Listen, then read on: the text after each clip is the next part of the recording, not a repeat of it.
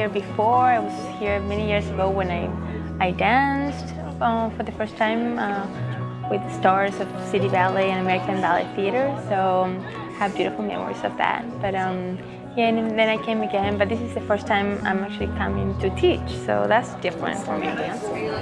I started ballet when I was seven. It was from the very first day I was so focused and I took it so seriously and I think it's so important that the training, I think it's so important to uh, the early training especially um, for kids because it's the base for what you're going to have as a career or not, but at least you know, and it's very, very important. I think it's, for me, for me at least, it was uh, very important. And you see it, you know, through the years, you see it with different people's career, you know, that you have, you can see a lot of talent, and it's such a shame when you see like so many incredible talents really badly trained.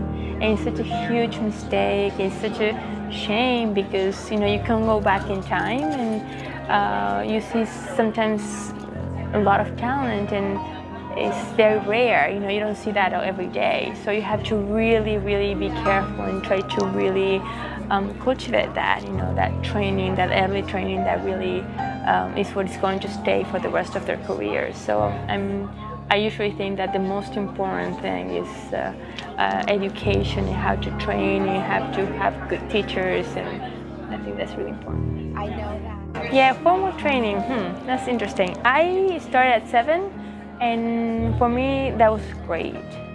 Uh, I have to say that whatever I think the kid wants, they need to do. At least that was my mom's point of view. She always told me whatever makes you happy. And for me, it was such a great thing. Yeah, first I, I told my mom when I was seven, I have no idea, even today, I have no idea why. I, I wanted to dance. So I told my mom, I want to dance. And so my mom sent me to uh, I don't know, like uh, dancing with like fabrics and improvisation, and I loved it. I was like dancing with my fabrics, and but then I told my mom, I was like, but I want pointe shoes. Yeah. Pointe shoes. I want ballet, and she had no idea why. Nobody in my family is a dancer. Nobody. So it was interesting. My mom and dad used to like always listen, even today, a lot of classical music, and I used to dance all the time. So. Um, music was always involved in you know my house but nobody in the, in the family is a dancer so my mom was a little surprised why would i pick dance but she said okay fine and that's why comes the luck she was i was very lucky she sent me to a beautiful studio and it's a very well-known teacher in argentina so my mom i mean of course she she asked around it's like oh i want to send my daughter to like a nice place a nice school and they told olga ferri that is my teacher is very very famous um, so she knows about the studio, so she took me there. So I was very lucky to to go to her from the very beginning. And I have to give, you know, all even I always talk about her and how important she was in my life. And because from the very first day, she completely guided me in, in such a great direction. And and that's what I my point of view is like, in, you know, teachers are so important. Know, the only thing I knew from first day that I loved it. From day seven, and now I see like kids from like seven years old, and there's no way they can know anything. But I was, I knew I wanted to be a dancer, and I would be sick, and my mom will tell me, "Okay, you're not going to ballet class," and I would just escape and run, and was, I wouldn't miss class for anything. It was, and I think now it's like it's unbelievable. It's the same way I feel today. I mean, I don't miss class. I love taking class, and it's the same passion I had, you know, when I was seven. But it's uh, it's pretty incredible that you know it was you know I was very focused. So when you're asking me about age, I don't know. At seven, I just knew. I knew exactly what I wanted.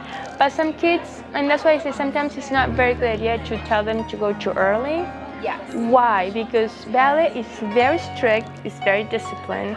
So if you ask a kid to be at three years old, four years old, to be so strict, they will just go one day, two days, and it's like, oh, forget it.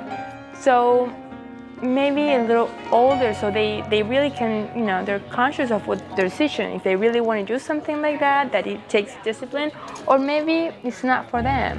But sometimes they love it, but if they start too early with such a intense um, maybe it's too much. Well, I've trained, of course, at the Colón Theater. Uh, that's the main uh, theater and it's the official company. And of course, I did all the training there, but that's like uh, the public uh, is, is, professional. It's an official school, so I did. At that level. Yeah, so I did all the training there, and that goes with other, not only ballet, but they, you know, you do um, history of ballet and music and so it's a it's like a Russian training. I wanted you know? to ask you if your yeah. ballet school was also yeah. your academic yeah. school. No, not not completely, but it has a lot of other things because it's like the whole morning and then you go to to regular school.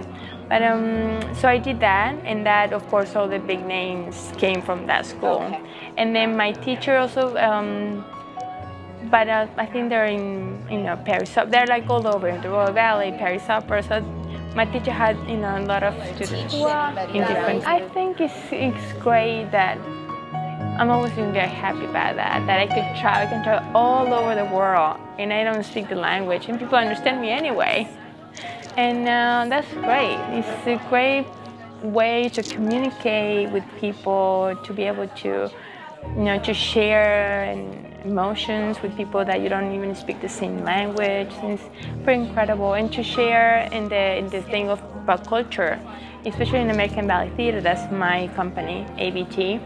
Uh, it's incredible. We have so many different nationalities and we all do the same ballets, but we do it so differently. And that's the great thing about our director that he always emphasize that that you you know we also do the same steps same choreography nobody's changing anything but your own um, cultural background your own style you know some people are more russian some people are more french and more you know, latin whatever your your background your schooling was and he respects that. And that's what makes it so interesting. That's what makes it because you won't see the same performance. Yeah you go see Giselle you're going to see Romeo and Juliet or Don Quixote but every performance you go see with a different dancer is going to bring something unique. And I think it's great you know to respect that in personality not to have everybody you know have the exact same exact same way so I think that's very. I really love that about ABT. I don't think this was ever a doubt in my in my mind. I always, I, when I was even seven, people, what are you going to do when you grow up? And I was like, a dancer. You know, so it was like no doubt.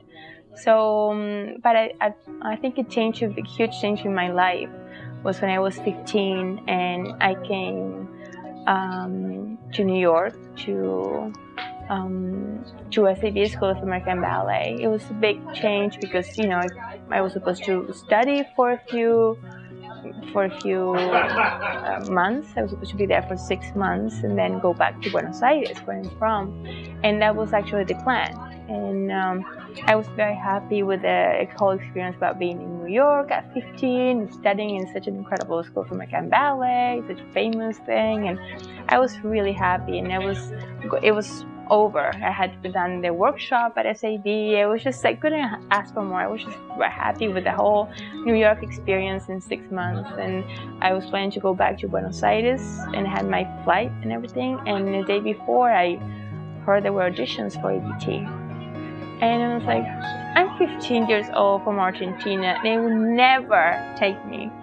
But I was just dying to just see how the dancers were or I was 15 and during that season that I was at SAB, I was I used to go all the time to ABT and watch the performances. So I remember like seeing Sylvie Guillem and Carla Fracci and all these people dance at ABT. So when I heard, I was like, okay, I'll just go and just just yeah, just see them and see how they who they are. These incredible people were my idols that I would watch forever on videos when I was at home. So I did that. So I went 15. I didn't even have a pair of like decent pointe shoes because everything was packed. So I went at the audition and the director told me I give you a contract for the de Ballet.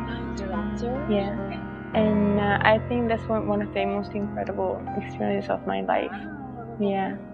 And it just changed my life, you know. I mean, I became from a student to professional to being one of the most incredible companies in the world from living in Buenos Aires with my family to just live somewhere else completely and just it just changed. I didn't speak English at all, and while I was at SAB, I was in a bubble, and I just wanted to dance, and so it was just opening up. I was like, okay, now I really have to live here. I mean, it was a life changing experience, and it's one of the, those moments I will. I remember just leaving the audition and just crying and screaming. And of course, at that time in New York, it, it was very normal to see like people just like jump around and just like, you know. But um, yeah, it was it was pretty incredible. And, and then parents with the news? yeah. Yeah, I signed the well? contract and then I call. It's like, you know what? By the way, I'm staying here. So I actually took the flight the next day, but with my contract in my hand, and then I was just coming back and just starting. But uh, my parents were just always. They, I guess, they knew, and they always. It was an, it's an incredible trust between us, and I know they always wanted me to do whatever makes me happy. So I knew they were going to be happy, and when I told them, they knew it was my dream coming completely, like just dream come true, and they were just so happy and maybe a little longer, younger than you all yeah. expected. yeah, but I think yeah, I think they knew from very from when I was very young. I was just very focused, so I think they, they knew they weren't going to stop me. It was just something that I always, it was just a dream that I had, you know. So they were so happy. And my relationship with my parents is just incredible. It's just very close and doesn't matter the distance. We. And your parents are still in yeah, they're still in Argentina, but, but they come to all the time to oh, New York. They come see me, and and I go home very often. And but um, there's something that I always, for me, it worked, and I think that's my.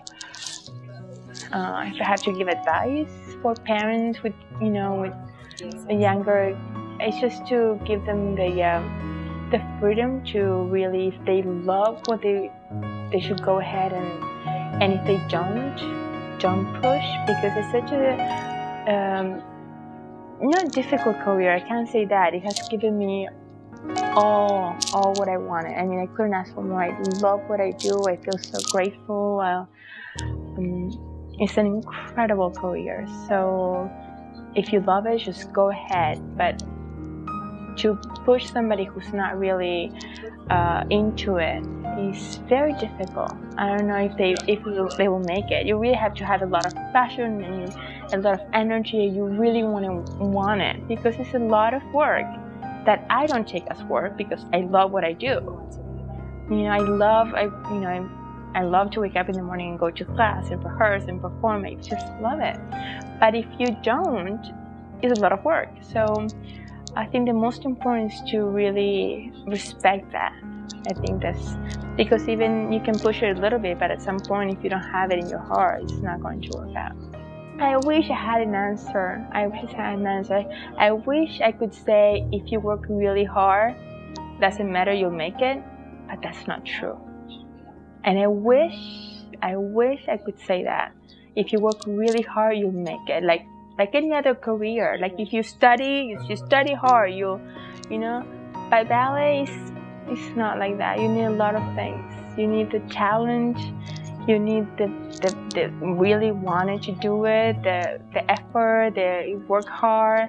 You need something special that nobody really knows what it is, but makes you go on stage and and make all the you know eyes go and then some people have all the time but nothing's really happening and you don't know why. But so there's so many things that really you know sometimes people have the talent and they work hard and then their brain doesn't work very well and then it's just their whole career goes you know? So there's uh, i wish i had an answer. That's